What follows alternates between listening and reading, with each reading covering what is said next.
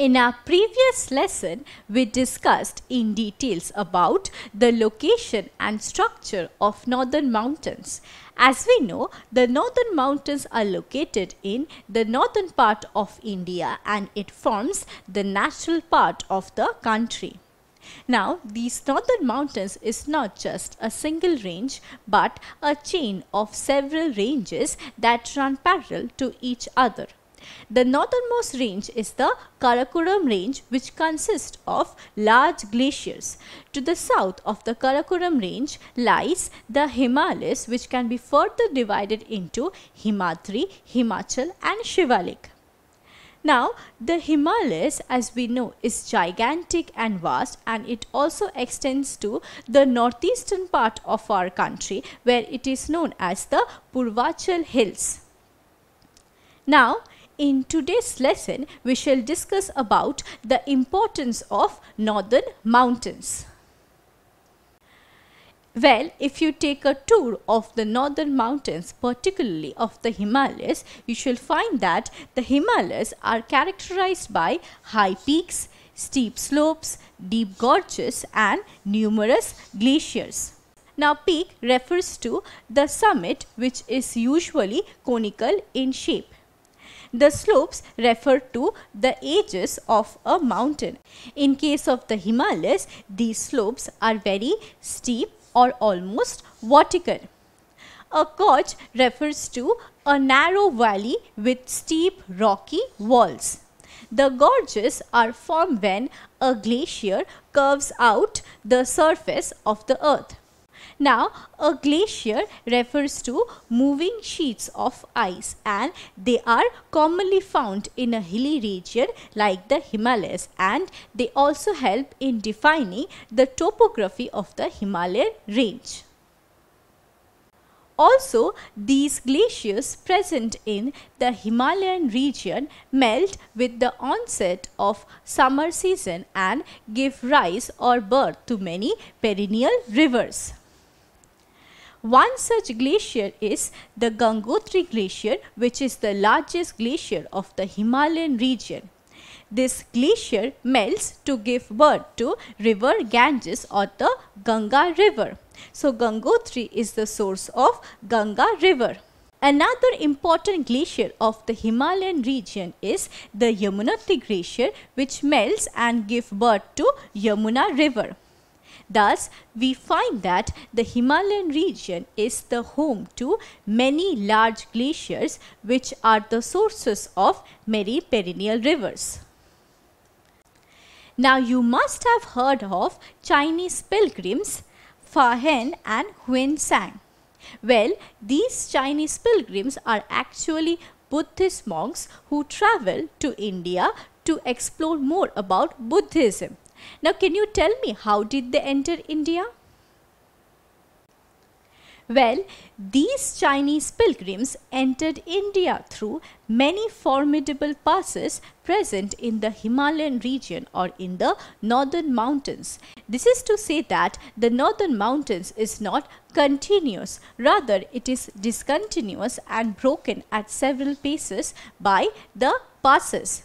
Now what is a pass? A pass simply refers to a break or a gap between the mountain ranges or in a hilly rugged terrain.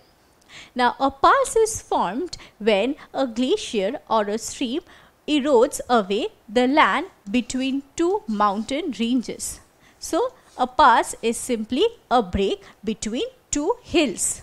Well, in this picture, we can see that there is a gap between two hills. So, this gap is a pass. Now, due to the presence of these passes in the Himalayan region, the Himalayas have played an important role in exchange of art, science and culture between India and rest of the world. Now, some of the important passes of the Himalayan region are Zojila Pass, Shipkila Pass, Rohtang Pass, Nathula Pass and Bomdila Pass. So, these are some of the important passes of the Himalayan region.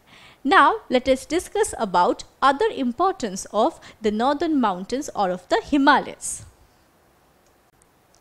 Well, apart from acting as the natural border of India, the Himalayas protect the country from cold chilly winds coming from the Siberian region towards the Central Asia.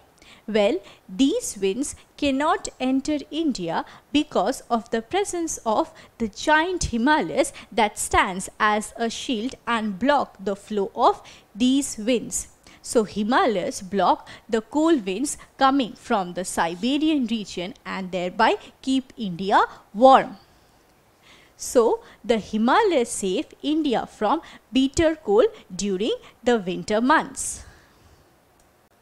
Well, another importance of the Himalayas or the northern mountains is that they act as a climatic barrier and play an important role in defining rainfall pattern in India. This is to say that they obstruct the moisture laden winds coming from the Arabian Sea and Bay of Bengal. These winds eventually shed heavy moisture in India after striking the giant Himalayas. So, the Himalayas intercept the monsoon winds and cause heavy rainfall in India. Thus, we see that the northern mountains or the Himalayas have a significant influence on the Indian climate. The northern mountains offer several beautiful sights of waterfall. Now in this hilly region, the water falls from a great height along the steep slopes of a mountain. In fact, the stream runs down very swiftly along this slope and give rise to numerous waterfalls. Now, since waterfalls from a great height, they have the potential of generating hydro energy or hydroelectricity. So, at these places, dams are constructed in order to harness hydroelectricity or hydel power. Now, can you name the largest dam in India? Well, India's tallest and largest hydroelectric power plant is situated in the state of Uttarakhand and its name is Tehri Dam. So, Tehri Dam which is located in Uttarakhand has an altitude of 260 meter approximately. Now on being located at such a high altitude, Tehri Dam is the highest or tallest dam in India. This Tehri Dam produces large amount of hydroelectricity and is also a major tourist attraction of Uttarakhand. Now before proceeding with our lesson, let us try to answer this objective. Tehri Dam is located in the state of and the options given are Uttar Pradesh, Assam, Himachal Pradesh or Uttarakhand. Well, you can't remember. We just read that Tehri Dam, which is the tallest dam of India, is located in the state of Uttarakhand. So, the correct option will be Uttarakhand. Now, let's continue with our lesson. We know the Himalayan region contains some alluring lush green valleys. One such mesmerizing intermountain valley is the Kashmir Valley which is a part of the Greater Himalayas or the Himadri range. During winter, this Kashmir Valley takes a white tone as it gets covered in soft snow and during summer the snow melts and give rise to many small streams. Also, the flowers bloom in the meadows and it resembles an artistic canvas. Now, the Kashmir Valley is a major tourist attraction of India. We all have a dream of riding in the beautiful houseboats of the Dal Lake which is a part of Kashmir Valley.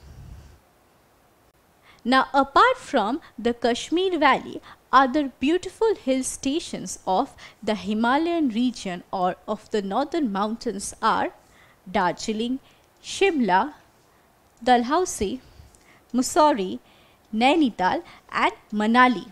So we find that the northern mountains or the Himalayas are the hotspot of tourism because of their enchanting beauty and pleasant cool climate. The Himalayan region is also rich in flora or forest wealth. Rhododendrons are commonly found in the Himalayas especially in the wetter parts of the Himalaya. Also, saffron that is widely used as a spice to flavor and enhance the taste of any Indian dishes is cultivated in the Himalayan region. Well, the saffron is also known as kesar in India. Also, many timber producing plants like pine, oak, etc grow in the forest of the Himalayan region. Also, Brahmakamal, an important medicinal plant that is used to treat fever, is found in the Himalayan region. Thus, we find that the Himalayas are indeed very rich in flora. So, in today's lesson, we mainly focused on the importance of northern mountains. The northern mountains are indeed very significant or important for every Indians. These northern mountains act as a climatic barrier and have a significant influence on the Indian climate. They primarily obstruct the cold chilly winds coming from the Siberian region and they also cause rainfall in India by blocking the monsoon winds. Another importance of the northern mountains is that they are very important for the flourishment of tourism industry in India because many beautiful hill stations and tourist spots are located in the northern mountains. The northern mountains is also an important source of renewable energy and it provides us with hydroelectricity. Also because of its location, the northern mountains acts as the natural border of India separating the country from its neighboring nations. Thus, the northern mountains helps in defense purpose because most of the army camps are located in the northern mountains. The northern mountains also contain some valuable plants like Brahmakamal, saffron, pine, rhododendron, etc. Now as we know, the northern mountains contains numerous large glaciers. These glaciers melt and give rise to many perennial rivers. So the northern mountains are also the source of many perennial rivers. So these are the various importance of northern mountains and we find that this particular physical feature or physiographic division of India is very important for the country because of several reasons. In our next lesson, we shall be focusing on another major physical division of India that is the northern plains. Don't forget to subscribe to our channel and hit the bell icon. You can also register for free at deltastep.com or download the DeltaStep app to learn one-to-one -one with our amazing teachers or to get access to our 5000 amazing videos as per your school syllabus. Master each topic with our adaptive practice technology. Get million plus questions with step-by-step -step solutions and unlimited mock tests. Get all your doubt resolved instantly. Learn via games and win amazing prizes like PlayStations and iPads. So at DeltaStep, learning is not just fun and easy, but it's rewarding too. So register for free now.